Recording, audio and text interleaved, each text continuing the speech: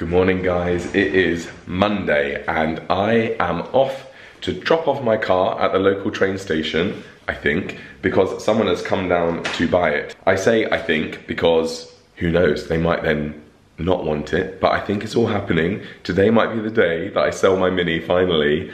I can shut the door on the whole car journey and I can replenish my savings which I desperately need to do. It's a good start to the day. I mean, it's it's nearly 12. It's not the start of the day, but it's the start of the vlog. Yeah, Keegan's gonna come with me because he'll, he'll like drive separately there and then he can drive me back because obviously the plan is to leave my Mini there. Um, but I also feel sad. I feel sad that I'm, like this is my first car, but I'm also like, it's a car and I need the money. and it's just been sat on our road, just doing nothing and so I'm like, I definitely need to sell it. So the sadness is less so now. But anyway, we need to go. It's so weird now driving this car, it does feel very, very different to my new car. I've gotten used to my new car so quickly, it's very strange. It looks like this car dealership, it's a dealership that's buying it from me, but a small one. And they've come all the way down from Newcastle this morning on the train. So that's why we're meeting them at the train station. And then obviously he's gonna drive the car back up north. So you're gonna go even further north, Mini. I got you in London, bought you in London, so you're a southern car. I think all Minis are made in Oxford. That's where the Mini factory is. So you're a southern car and you've just made your way further and further north. And then who knows who's gonna buy you next? No. you just told me not to film him having a See's candy. Um, all done. The car, we've said goodbye to the Mini. That was, I can't believe it's gone. The money was transferred into my account. It felt like a drug deal meeting at a train station and like just it just very weird like transferring money all these sorts of things. Not that i've ever done a drug deal but this is what i imagine it's like. And in my and in my head i was like is this a scam? And it wasn't a scam. The money went straight into my account sold my car for 10,900 pounds which is good. I mean it's a bit less than what i wanted to but it's been sat there for ages, hasn't it? Like on the road and I'm just like, I need to sell it now. So yeah, I imagine he'll sell it on for like 12 and a half, maybe even 13 if he's done a few bits to it. So um, yeah, he'll make a nice profit, but whatever, it's great. I'm glad it's gone. And I've now got a little delivery from Legend London, which I'm excited for, which are basically sort of tailor-made jeans aimed at people who work out. So it sort of hugs your legs in all the right places. So let's see if they're actually any good. Remind me to show you the jeans. Why am I saying it as if you're here? I was gonna say remind me to show you the jeans later, but you can't because you're watching this after I filmed and edited it. Um, but I, a reminder to myself, I do want to show you the jeans because they're really nice and they're really good. And it was one of those where I've seen them advertised a lot and I've gone, oh, is this just like an Instagram? You know when you get presented with things on Instagram and, and they're usually like really cheap stuff made in China and they like fall apart. They're actually not. They're like really good. So I'm gonna show you later. I'm very tired guys. I've got the blanket on. I'm gonna edit a video. I think because I've got a really busy day tomorrow and I'm out pretty much all day tomorrow, it's making me just want to curl up and, and like rest today. Uh, I always get like that when I have plans, but um, I can't. So Hello Ava. I'm gonna do some work now, have lunch with Keegan, walk the dogs, and then I need to drive to a shopping place and buy a few last minute bits for my showreel scene tomorrow. So I'm filming my showreel scene and it's an outdoorsy type scene. It's set on like a hike. I actually need to buy sort of like a, an anorak because all the coats that I've got aren't hiking coats and I want it to look good. So costumes are a really important part. So I'm gonna go shopping and look for an outdoorsy like windbreaker type coat. But then other than that, I can have a chilled evening. But I've just checked in my phone and I've got a 9 a.m. call time tomorrow in Stoke-on-Trent and I have to leave at 6.30. 6.30. So Ava's in here with me. Um, and she's actually not been very well the last couple of days. She's been off her food, but she has just eaten her breakfast now at one o'clock. And yes, my background on my watches me. Uh, and then you can see him just outside. Can you just see him there? He's uh, sunbathing on the picnic table. He absolutely loves the sun. What a beautiful day. So lovely. It's bright, sunny, blue skies as you can see, but it is a little bit chilly, so I'm still in my muddy dog coat. Ava, come on, leave. She loves rolling in fox poo. Every day she does it and she stinks and she has to, I mean she has a shower every single day because she gets muddy um, but then I have to use shampoo because the, I can't get the fox poo smell out.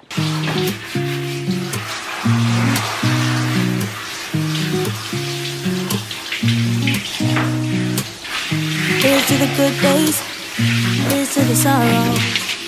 This is a mistake. I know about tomorrow.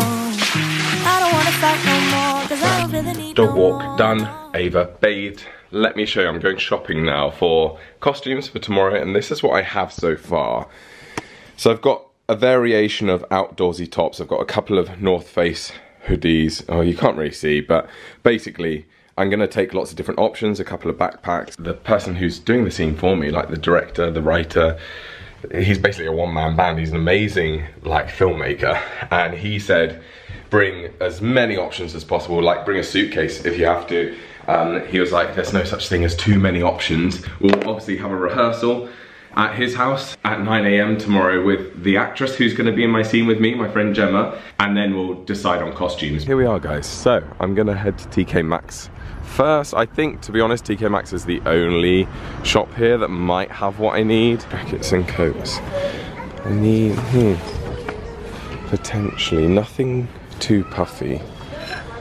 Hmm. Ooh yeah, this is actually like an outdoorsy coat, but I think black is a bit boring. I was hoping for like a blue. The director of the scene has sent me stuff, um, like helpful tips, and he was like, blue looks really good on camera. Avoid black.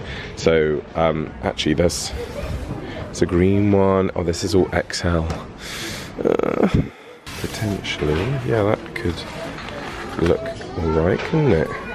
Or they have this two-tone one, which I actually really like, but I don't know. The question is, I feel like I might need an outdoor backpack as well, because my backpacks don't look outdoorsy. um, but I feel like I might never use it. Right, done. I will talk you through the through the purchases when I get to the car. I also treat myself to a Pepsi Max. A lovely day. I was just thinking, should I go and look around some of the other shops? But I'm not in the mood today. I just want to, as soon as I get home, I'm just going to get my PJs on and go on the sofa and do some more line learning. I need to uh, prepare a video for tonight. But yeah, I just want to do it from the sofa. I want to chill. Pepsi Max, I will open that when I've stopped talking to you. Otherwise, I'll be burping all over the place. So I actually got both of those coats. I won't get them out to show you because I got both of the ones that I showed you, the, the lighter two-tone one and the green one. And then I also got that backpack I think I showed you as well. That outdoorsy backpack because you know what, I've spent, like these showreel scenes are expensive. They're, they're, a def they're definitely an investment into my future. I don't want to ruin the scene by it being like a hiking scene and I'm not wearing hiking clothes. Do you know what I mean? So I was like, I'll get it. That came to 160 quid, but I'm hoping I'll at least return one of the jackets, which I think they're 50 quid each or 60 quid each. Um, so yeah, I'll at least return one, but it might be that I don't use any of those, either of the coats or the bag, in which case I'll return it. But I bought it on my business because it's a business expense, so that's tax deductible, which is great. What's my mum doing today? I might give my mum a call on the way home. Just fancy having a chat. Do I Siri, hey Siri, do I hey, hey BMW? Oh no, it's Siri. Hey Siri, I don't know. Hey Siri, call mum. Calling mum. Thank Mobile. you. First call from my car as well, my new car. Guys, it's 10 to 7. It's still so bright outside. I am so tired. I've been sort of dozing while watching um, Stacey Dooley sleep over at people's houses. She's a presenter, if you don't know. And uh, yeah, she's been staying at people's houses who have maybe odd family setups, odd in the sense of not usual. Um, so I've watched one episode where she uh, went and stayed with a family vlogger family uh, called the Saccone Jolies. She basically lived with them and they vlog their entire lives, their children, everything. So I guess to some people that's controversial. I was just like, oh, that's normal. and now I'm watching one where she's staying with strict Orthodox Jews. Um, but they've got some where she stays with someone that's in a thruple. She stays with an eco-warrior family. So yeah, there's some really interesting ones. I'm watching the Orthodox Jewish one at the moment, which I find fascinating because I, I find Orthodox Jews really fascinating. I think because they're quite a closed community and quite... Um, insular you never really get an insight and that's what Stacey was saying she was like it's amazing that I'm getting this insight into Orthodox Jewish families because we know a bit about you know more modern Jews I suppose but less about Orthodox Jews so I love it anyway Keegan and I are our motivation for losing weight before Florida comes and goes. Today, we've just been having a few little snacks. We've been started off healthy and then we've had a few snacks. And now I've been put in charge of ordering takeaway tonight. So it's 10 to 7 and Keegan has a work call at 7.30 till 8. I'm gonna order this to arrive for 8 p.m. So I've got another hour and 10 minutes until I can eat. Um, but yeah, we're just, we're gonna treat ourselves. Anyway, I'm feeling quite nervous, guys, about my day tomorrow. It's just like in the pit of my stomach, even though I know it will be fine, but I'm just like, yeah, I just feel nervous. Morning, guys. it's 6.30. Wow, I need to do a vocal warm-up. This is the first thing I've said today. It's time to shoot my show reel today, guys. I'm driving to Stoke-on-Trent. There's a beautiful sunrise ahead of me. I don't think I've seen a sunrise for, I don't know, I don't know in how long. I'm not an early morning person, so this is like hell to me.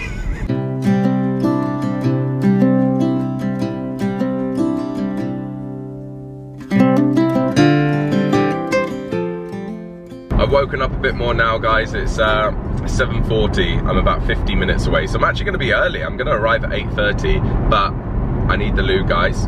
Um, you don't need to know that. Four minutes away. Oh, I'm so nervous. I am excited as well because I do love it. As soon as I'm there doing it, and I know because I've done two scenes before, not with these people, but I've, whenever I act, it's like I'm I'm so nervous beforehand and then when I'm doing it I'm loving it and it reminds me of why I love it.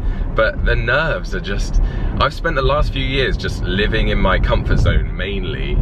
The, the years since sort of stopping acting and just focusing on YouTube obviously YouTube is my comfort zone and so now and I used to be so good at pushing myself out of my comfort zone I would be in a constant state of feeling nervous because I'd always be going to auditions and acting classes and this, that and the other. And because I don't do that anymore, I'm out of practice and now it feels really scared, like it feels like, ah, I want to run away.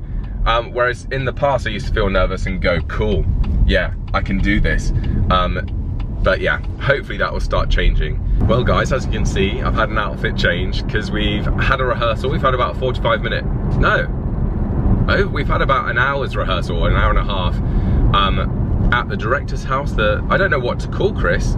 His name's Chris Stone. He's an amazing filmmaker, writer, whatever. Like it's him and his partner that like write the scenes, shoot the scenes, and everything. And he's he's directing the scenes as well. And it, it's just been so good. So me and Gemma have just been rehearsing in his living room uh, and chosen our costumes. I bought loads of different options. So we've sort of gone through the different options, and we're just pulling up now in Pine Tree Walk. So we're gonna be doing this on location in the forest. I hope not many people are around. I hope we don't bump into dog walkers. And then there's gonna be a scene of us like, ah, you cheated on me.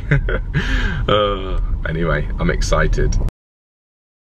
I'm rewarding myself with a drive-through, guys. Oh, back window. I didn't used to have them. Hi, could I get a medium Americano with oat milk, please? Yeah. Um, and do you have any mini egg cookies left? No, we don't, right? Okay, what about the iced Easter egg shortcake biscuit? Yeah. Yeah, we can I get... the, um, the egg one or the bunny one? Okay, I'll get the bunny one instead, actually. Thank you. Shall I do a dine and dash? Imagine speeding away. Perfect. Cheers. Thanks very much. Nice one. Thank you, you too. Bye. I just want to read this email. I've had uh, an important email because I've not been on my phone all day. So I also, oh, she's gone in the space I wanted to go into. Reverse into one of these so I can legally look at my phone. Got a little bunny.